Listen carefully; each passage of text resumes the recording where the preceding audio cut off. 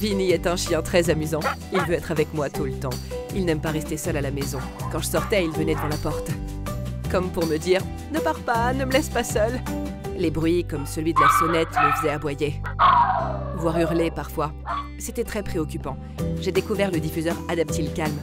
Il fonctionne très bien. Vinny est beaucoup plus calme quand je sors, il hurle moins.